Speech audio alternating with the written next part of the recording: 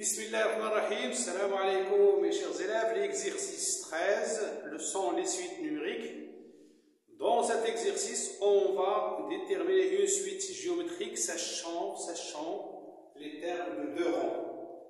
Alors vous voyez bien, vous avez U1 égale 3 sur 2, U4 égale 3 sur 16, avec UN une suite géométrique. Alors, toute suite géométrique a une raison, soit Q la raison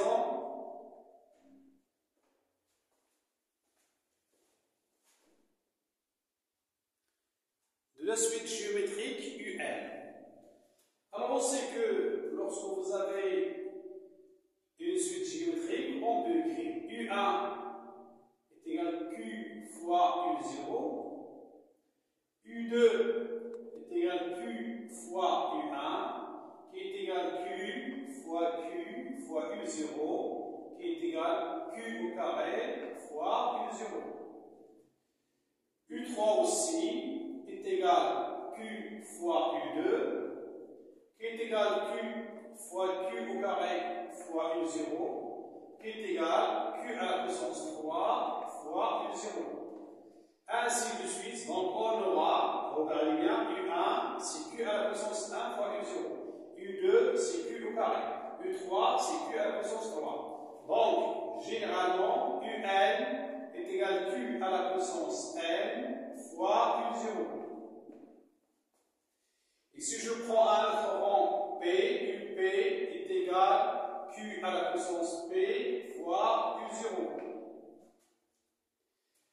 UN sur UP est égal Q à la puissance n fois U0 sur Q à la puissance P fois U0.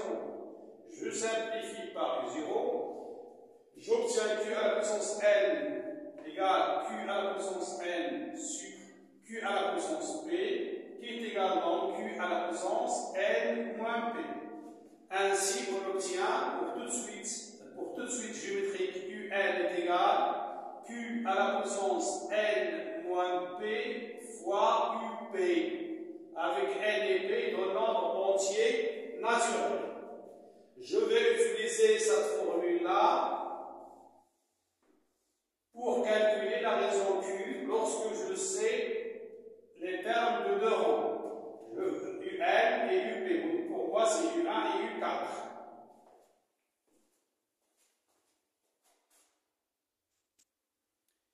Question 1, donc on va déterminer la raison de la suite géométrique, sachant U1 égale 3 sur 2 et U4 égale 3 sur 16. Je prends N, c'est 4, et P, c'est 1.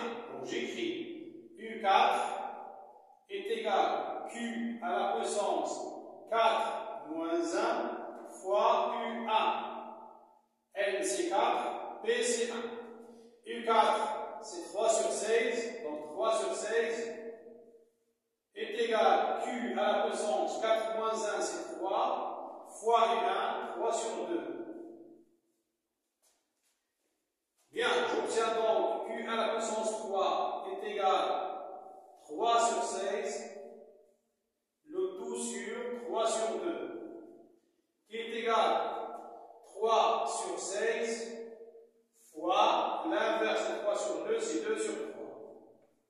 On simplifie par 3 et on simplifie par 2, j'obtiens 1 sur 8. Q à la puissance 3 est égal à 1 sur 8. Et on sait bien que 8 est le cube de 2, donc c'est 1 sur 2 à la puissance 3, qui est égal à 1 sur 2, le tout à la puissance 3.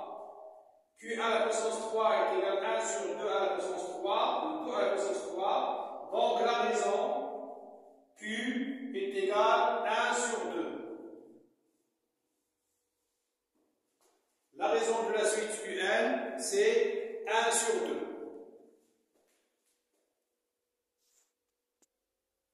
Deuxième question, déterminant son premier terme U0. Je peux utiliser U1 comme je peux utiliser U4. Donc, et on va voir. Si j'utilise U1, donc N égale 1, P est égal à 0, et j'obtiens U1 est égal que Q à la puissance 1 moins 0 fois U0. U1, c'est 3 sur 2, est égal Q, c'est 1 sur 2, le tout à la puissance 1 fois U0. Donc, U0 est égal 3 sur 2, le tout sur 1 sur 2.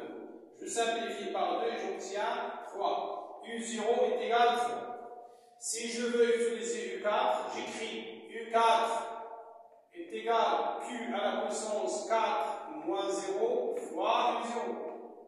U4 c'est 3 sur 16 est égal Q c'est 1 sur 2, donc 1 sur 2 le tout à la puissance 4 fois U0.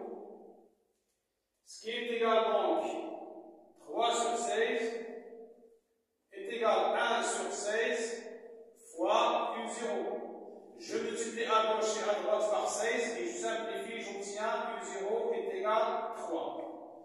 Donc, dans, les deux cas, on a U0 est égal 3. Donc, le premier terme de la suite est U0 égale 3.